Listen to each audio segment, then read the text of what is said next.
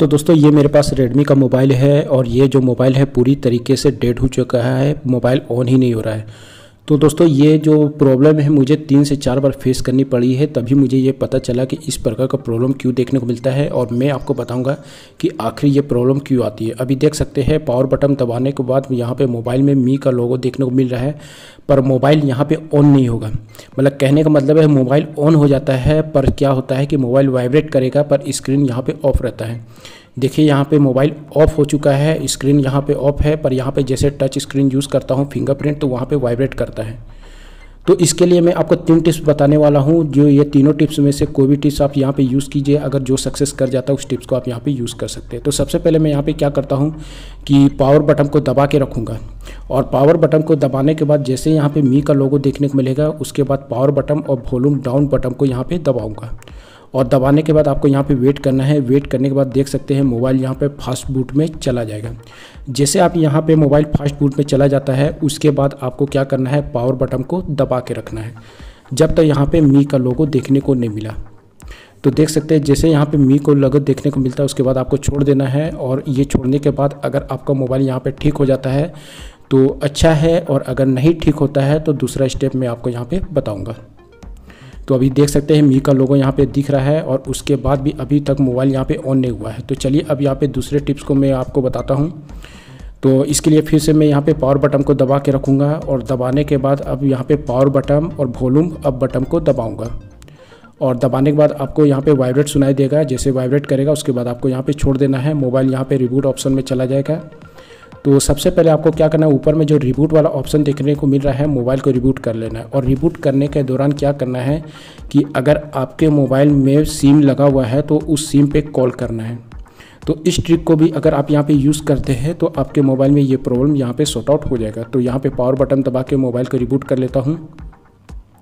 और ये रिबूट हो चुका है, और उसके बाद मैं यहाँ पे कॉल करूँगा।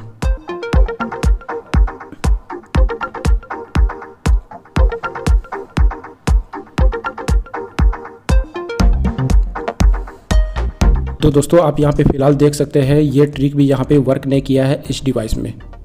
तो अगर आपका भी ये ट्रिक वर्क नहीं करता है तो चलिए यहाँ पे थर्ड जो स्टेप बताने वाला हूँ ट्रिक बताने वाला हूँ, ये आपका यहाँ पे डेफिनेटली काम करेगा।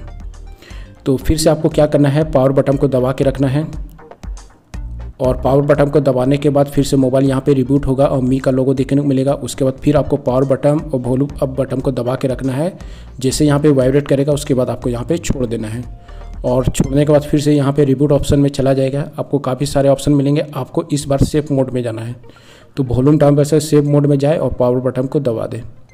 तो दोस्तों, इस टिप्स को अगर आप यहाँ पे यूज़ करते हैं तो मान लीजिए कि कोई भी वैसा एप्लीकेशन यूज़ करते हैं थर्ड पार्टी एप्लीकेशन तो वो एप्लीकेशन यहाँ पे शो नहीं होता है। साथ में जो भी अगर आप यहाँ पे वर्क करते हैं, वो भी यहाँ पे शो नहीं होगा। यहाँ पे सिर्फ़ डिफ़ॉल्ट शो होता है। तो ये टिप्स जो है, काफ़ी काम करता है। बहुत से यूज़र का काम किया है, आपका भी काम करेगा। देख सकते हैं मोबाइल यहाँ पर सेफ़ मोड में चला गया है। और सेफ़ मोड में जाने के बाद दोस्तों, सबसे पहले आपको काम क्या करना है? अगर आप कोई एप्लीकेशन को यहाँ पर इंस्टॉल करके रखे हुए हैं, और जिसका अपडेट नहीं आया हुआ है, उस एप्लीकेशन को आपको अनइंस्टॉल कर लेना है। तो इस प्रकार से आप यहाँ पे जाके उस एप्लीकेशन को अनइंस्टॉल कर ले। दूसरा दोस्तों, यहाँ पे प्रॉब्लम ये भी देखने को मिलती है, अगर मान लीजिए कि आप अपने मोबाइल में कोई भी थर्ड पार्टी टीम को यूज़ करते हैं, जैसे कोई भी थर्ड पार्टी टीम को आपने डाउनलोड किया, उसको यूज़ किया है तो उसके चलते प्रॉब्लम मिलता है तो आप यहाँ पे डिफ़ॉल्ट थीम पे क्लिक करके उसको अप्लाई कर दें।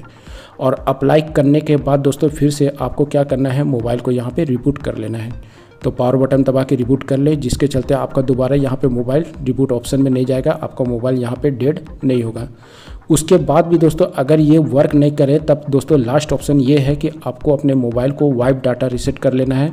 और वाइप डाटा रिसेट जैसे दोस्तों आप वहाँ पे कीजिएगा तो वहाँ पे टोटल डाटा आपको वहाँ पे डिलीट हो जाएगा। तो ये तीन टिप्स यूज़ करने के बाद ही आप वहाँ पे वाइप डाटा के लिए ट्राई कीजिएगा। तो दोस्तों, वीडियो कैसा लगा हो कमेंट करके ज़रूर बताइएगा। वीडियो अच्छा लगे तो चैनल को सब्सक्राइब, लाइक और शेयर ज़रूर कर दीजिएगा।